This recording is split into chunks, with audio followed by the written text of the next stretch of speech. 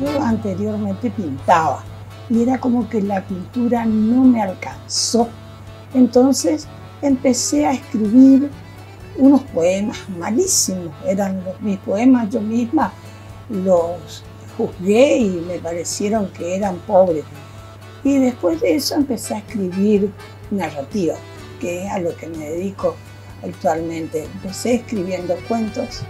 Mi primer libro de cuentos se llama Vivencias Correntinas y me dio muchos resultados y, gratificaciones ese libro porque se, eh, fue tomado como libro de lectura para la escuela secundaria de, de Corrientes porque contiene eh, seis cuentos y cinco leyendas, pero no leyendas a las cosas tradicionales, sino leyendas que yo le creé a cosas que yo no conocía su leyenda.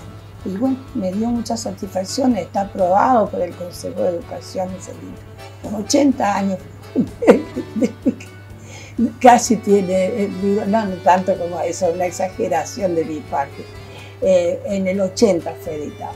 El caserón bosteza letargado al abrirse el día, mientras la última brisa que se le escapó a la noche desbarata las páginas de un pequeño breviario que está sobre la consola del vestíbulo. Ya tenía unos 30 años. Tuve una oportunidad muy grande porque había un grupo de escritores, la mayoría hombres, eh, gente grande que podían ser mis padres, y me escucharon un día en la casa de don Pedro Blugerman eh, leer un trabajo mío y me incorporaron al grupo de ellos y sobre todo el poeta Franklin Rueda. Él y la señora me llevaban en el auto de ellos al interior en algo que ya no existe más, que se llamaba revistas orales. Siempre me incluían en las revistas orales y así me hicieron conocer mis trabajos a la gente del interior y acá en Corrientes también. Y, bueno, eso fue lo que me incentivó a publicar eh, Evidencias Corrientinas.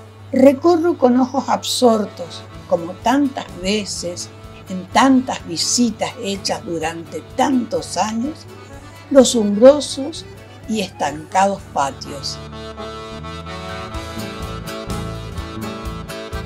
33 cuentos y, novelas, pero casi todos de narrativa. Sin embargo, eh, hace unos meses eh, edité uno que se llama De haikus, aforismos y poemas. Es una poesía japonesa muy breve, tiene solo tres versos, pero tiene que tener una métrica exacta y tiene que tener algo de la naturaleza y el sentimiento del autor. Ese es un haiku. Y los aforismos son los que vulgarmente llamamos refranes. Porque una amiga me dijo, vos escribís con mucha poesía, ¿por qué no escribís poemas? Y entonces empecé como un juego y llegué a, a juntar una buena cantidad de haikus y de aforismos y de poemas y entonces ahí está un libro que se llama así. La cavernosa tiniebla de las habitaciones despobladas de habitantes.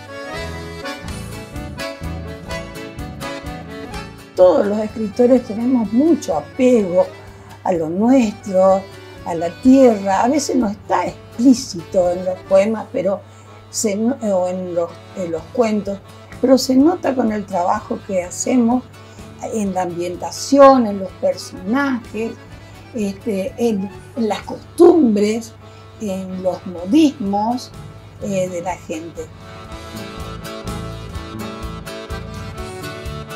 El ida y vuelta con el público es lo más valioso que tenemos, eh, porque cuando vemos el interés de la gente en lo que nosotros hacemos, nos incentiva muchísimo y nos gusta escuchar los comentarios, nos gusta que nos hagan preguntas. Es muy valioso, tanto en una feria como en un taller. Y hablando de talleres, yo tuve 18 años en mi taller literario Tanaipo. De ahí salieron, surgieron muchos escritores que ya tienen su obra individual publicada. O sea que una gran satisfacción para mí haber sembrado la semillita ahí y que haya surgido, hayan surgido varias plantitas. Como tantas veces encuentro la casa desconsoladamente callada.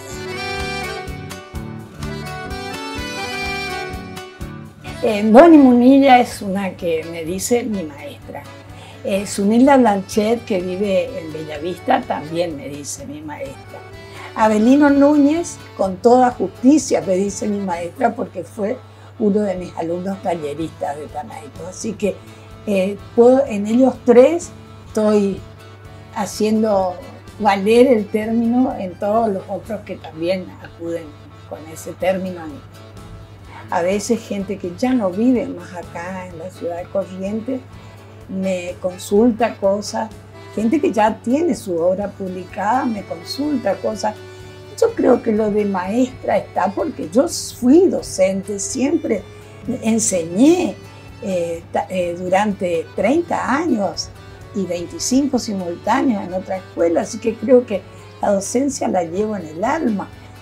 Es para mí un país venerable y bello donde mi asombro no llega aún al clímax. Los cuentos son e-, es un, un texto que a la gente le gusta por su brevedad.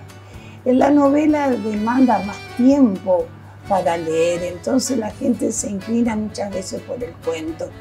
Y también gustan de las leyendas, y hay gente que gusta solamente de, la poesía. Eh, eh, hay mucha variedad dentro de la gente que lee. Y hay que destacar, eh, los jóvenes leen poco, pero a veces cuando se interesan, se interesan de verdad, porque son así audaces y se acercan, a veces me piden venir a entrevistarse conmigo y tenemos una charla y me muestran su trabajo y yo les doy mi opinión, pero generalmente siempre los estoy incentivando porque el que tiene gusto por la lectura casi siempre escribe. Entonces, para que se formen, les digo que tienen que asistir a los talleres literarios. Ella tiene su pequeño mundo secreto y múltiple y el grito de la lozanía vibra todavía en su interior. Quien quiera escribir tiene que leer y leer mucho y leer a buenos autores. Tiene, la persona que desea escribir tiene que leer. Y si tiene posibilidades de ir a un taller literario, es conveniente que vaya, porque ahí va a encontrar con un buen profesor o una buena profesora, aunque no fuera escritor, un profesor de letras, mejor si es un escritor porque tiene la experiencia, va a encontrar técnicas, va a conocer técnicas, va a conocer eh, pequeños truquitos que hay que emplear para mejorar el escritor. O sea, ese es mi consejo para quienes quieren escribir. Leer y posible asistir a un taller literario.